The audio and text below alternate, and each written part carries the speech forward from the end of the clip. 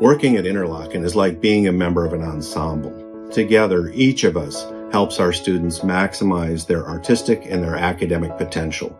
And in turn, as alumni, those graduates go out into the world and make their professions and communities better places. I'm proud of the work that every member of the Interlochen community does to help prepare our students for those bright futures.